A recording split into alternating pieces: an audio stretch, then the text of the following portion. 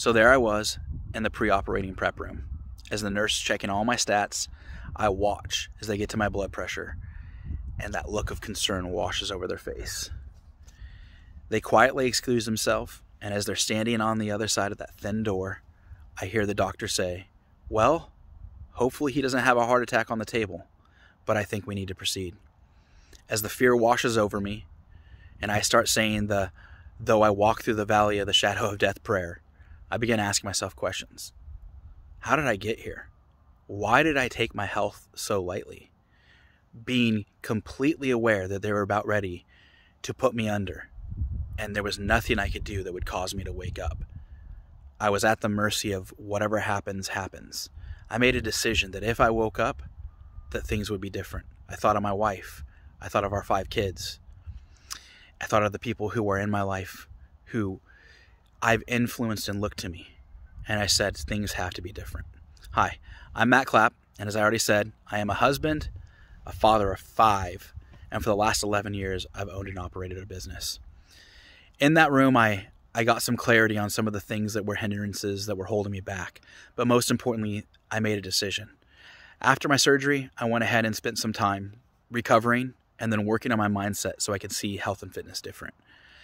And I am at the point where it's time to make a decision. It's time to make a change. And this channel is here to go ahead and be a channel of encouragement. What this channel is not meant to be, this is not meant to be a health and fitness channel in the sense of I'm here to give you nutrition advice and I'm here to go ahead and give you what workouts to do. This is meant to be I'm a 40 year old man who weighs 233 pounds, who was five, six, and three quarters. I got some changes to make, and maybe you want to make them with me. And in this process, I hope to offer insights and encouragement because honestly, I do not believe that health and fitness is simply the diet that we consume physically and the exercise we perform physically. I believe there's a mentality, a mindset that's important for us to have in order to operate and live healthy lives.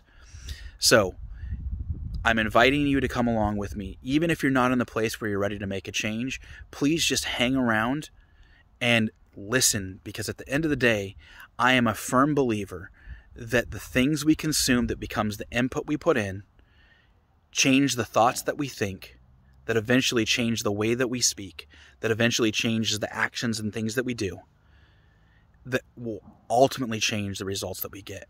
So even if you're not ready to make a change, start consuming the things that will help you with your change.